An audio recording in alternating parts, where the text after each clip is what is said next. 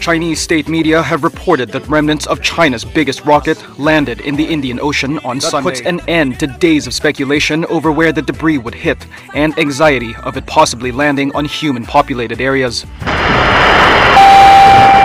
CCTV said that most of the rocket was burnt up as it re entered the Earth's atmosphere before reportedly landing in Maldives. The U.S. Space Command confirmed its re-entry over the Arabian Peninsula, though it said it if the debris fell on land or water.